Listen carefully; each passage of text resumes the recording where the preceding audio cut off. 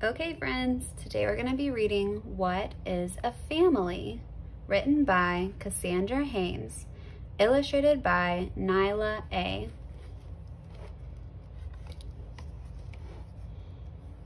What's a family all about? You'll see as you read this book, because no two are quite alike. Let's take a closer look. A family takes you places that you've never been before. Into the car and off we go. There's a whole world to explore. Families are the cheering ones who support you from the stands. And when your solo is up next, they shout, I know you can. Families are the brave ones who slay your scary dragon or take you on adventures in your squeaky wagon. Friends can be your family. You don't need to look the same. You're bound by years and laughter and not a shared last name.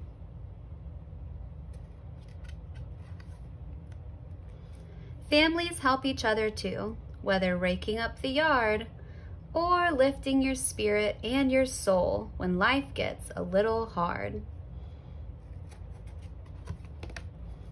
When your waters seem quite rough and you feel like you might fail, remember, love's your lighthouse and your family is your sail.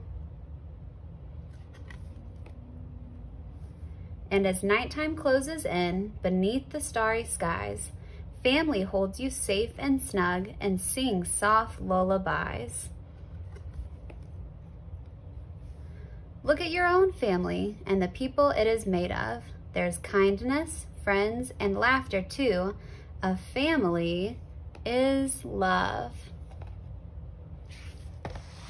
The end.